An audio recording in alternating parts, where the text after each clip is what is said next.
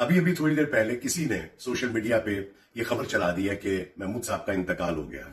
तो मैं सिर्फ़, जिसने भी ये खबर चलाई है, मैं उसे गुजारिश करना चाहता हूँ कि असलकुम फ्रेंड्स। महमूद असलम के बारे में ये खबर कि उनका इंतकाल हो गया, ये बात महमूद असलम की फैमिली और दोस्तों के लिए तो परेशान कन थी ही, लेकिन साथ ही महमूद असलम के लाखों फैंस के लिए भी काफ़ी अफसोसनाक खबर थी। ड्रामा सीरियल बुलबुले में लोग इनको देखने के आदि हो चुके हैं। इसलिए सब लोग इस खबर को बर्दाश्त नहीं कर सके और ड्रामा सीरियल बुलबुले की पूरी टीम से ये बात पूछने लगे। और आखिरकार ख़ुद महमूद असलम आ गए लाइव और लोगों को सारी हकीकत बता दी। अस्सलाम जी, मैं महमूद असलम, आपके सामने ज़िंदा सलामत।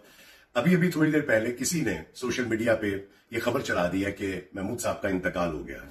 तो मैं सिर्फ़ जिसने भी ये खबर चलाई है, मैं उसे गुजारिश करना चाहता हूँ कि खुदा के लिए जब तक आप किसी खबर की तस्दीक ना कर लें, उसको नहीं फैलाना चाहिए। मैं ज़िंदा सलामत बैठा हूँ। आप खुद सोचें कि मेरे दोस्त अहबाब, मेरी फैमिली वाले, मेरे रिश्तेदार साहब जो भी ये खबर सुनेगा, और जो इतने चाहने वाले एकदम से ये खबर सुनेंगे तो उनके दिल पे क्या गुजरेगी?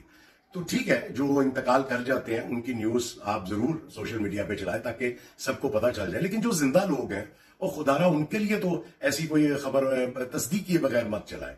तो मैं सिर्फ़ इसलिए छोटी सी वीडियो आप लोगों के लिए मैंने ये डाली कि मैं बिल्कुल ज़िंदा, सलामत, अल्हम्दुलिल्लाह ठीक ठाक हूँ।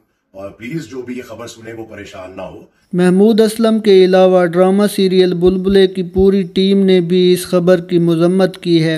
और ऐसी खबरें फैलाने वालों के लिए हिदायत की दुआ की है। मज़ीद इसी तरह की अपडेट्स के लिए चैनल के साथ जुड़े रहिए। शुक्रिया।